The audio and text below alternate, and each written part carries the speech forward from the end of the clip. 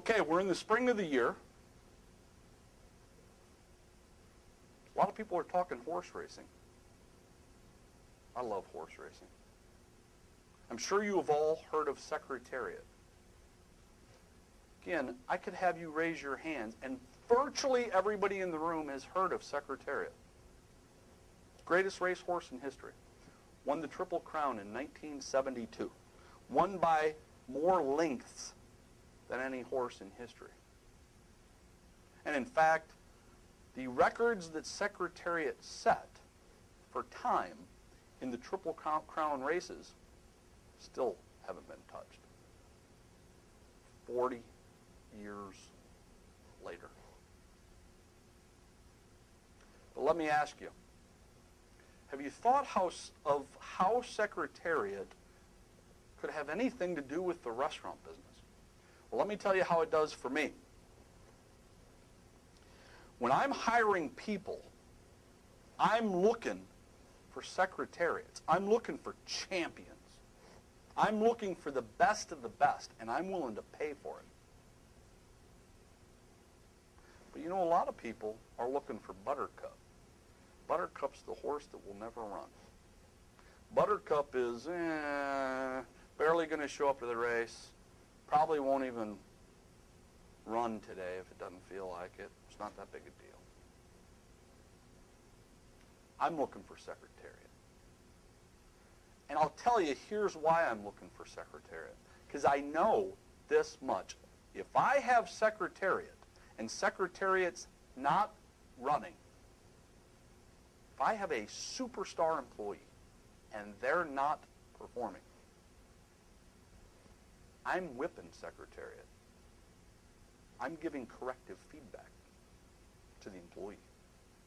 No ifs, no ands, no buts. If I'm riding Secretariat and Secretariat is not performing second, third, fourth in the race, not running away from the competition, not giving me everything that he has, I am whipping that horse.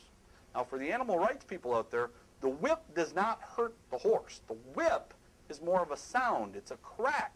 It's a crack. This is a huge animal. That whip's not going to do anything to this horse. It's the crack of the sound. It's bringing them to attention. And if Secretariat doesn't run, I'm whipping him. If Buttercup doesn't run, I didn't expect Buttercup to run. No reason to whip Buttercup. No reason to take the energy, no reason to take the time. But see, you see that in restaurants all the time. You see employees that someone has hired that is either not smart. Okay, there's not a whole lot I can do. I can't fix smart. You're either smart or you're not. They don't have integrity. They don't have drive. They don't have enthusiasm and passion for the industry. They don't have a good image.